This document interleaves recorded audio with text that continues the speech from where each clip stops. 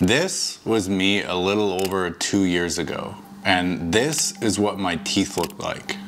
I know, pretty bad. My mouth was severely overcrowded, so crowded that before I even got braces on, I had to have four teeth removed. That was fun. If you're in the same boat that I was, you're not alone. Over 4 million people in the US wears braces, and of those 4 million, 25% of them are adults. I wanted braces for years before I finally decided to pull the trigger to get them. The biggest thing that had stopped me, not surprisingly, was the cost. The average cost of braces in North America ranges anywhere from 3,000 to $10,000. In Vancouver, British Columbia, where I live, the average cost is 8,000 to $9,000, and most dental plans here, including most, if not all, student dental plans, don't cover adult braces at all. This left me with crooked teeth for most of my 20s while I was a student and for the first few years after graduating when my salary was barely enough to pay my bills, my rent, and my car. And this had consequences, both physically and mentally. While it may seem that braces are purely for aesthetics, this isn't the case.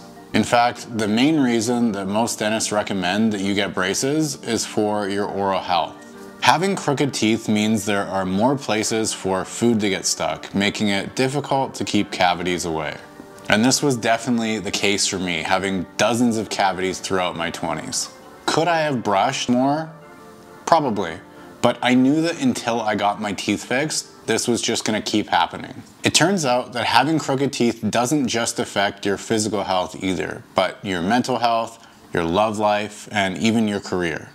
A study commissioned by the American Association of Orthodontics reported that over a third of Americans are unhappy with their teeth, believing that a better smile would lead to a better life. It gets worse. The study also reported that bad teeth represented the biggest dating turnoffs amongst men and women, with 77% of women thinking that crooked teeth were worse than a receding hairline in a potential love interest. On a professional level, 78% of Americans perceived adults with crooked teeth as less successful. Even without seeing these numbers, I already assumed all of these things, and I'm sure I'm not the only one. As a teenager and a young adult, I was always self-conscious about my teeth, and I would try to hide them by smiling with my mouth closed or putting my hand in front of my face while laughing. Just before I turned 30, I decided it was time and I booked a consultation with an orthodontist. They told me I'd be looking at a two-year treatment plan and gave me a cost estimate of close to $8,000 just over 2000 of which to be paid upfront and the remainder to be paid on a monthly basis, which worked out to $285 a month. This is a big chunk of change for sure, and it's understandable why so many people go without dental work even though they need it. Fortunately, at this point in my career, I was at a place financially where I was able to do so, so I booked the next step, which was getting four teeth removed prior to getting the braces on. The teeth I had extracted I had done by my general dentist, not the orthodontist. So fortunately that was covered under my dental plan. Otherwise that would have been another close to $1,500. Next up was getting the actual braces on, which was done in a couple hours and was totally painless. So here we are. I uh, just finished up with the appointment and my braces are on. Uh, it feels weird. It feels very weird feels like I have a mouthful of metal, which I do.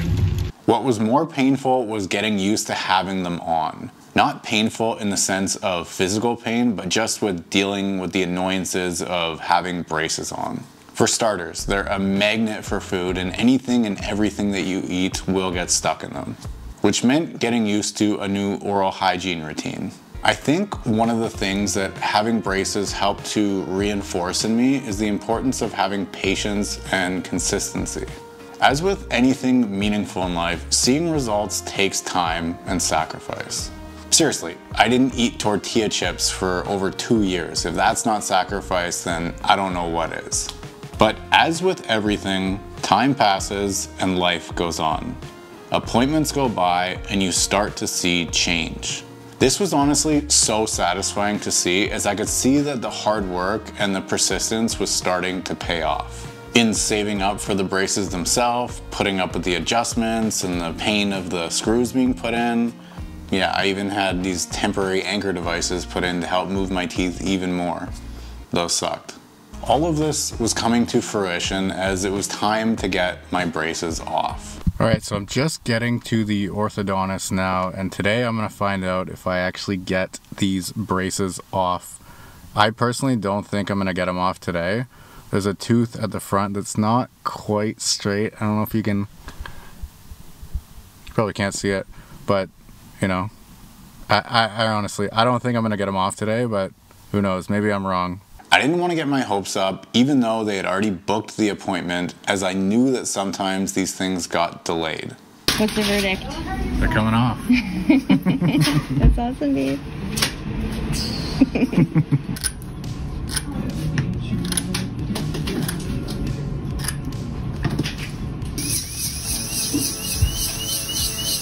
there you go. They're off. Yeah. They just got to do a couple touch-ups and then you're good to go. Yeah. All right. Uh, I was wrong. I got them off. It feels really weird, not gonna lie. My teeth feel super slippery and it just feels really weird not having any wire or anything in my mouth. I mean, it's been two years now that I've had these braces or that I had the braces on and uh, yeah, uh, it's a good feeling.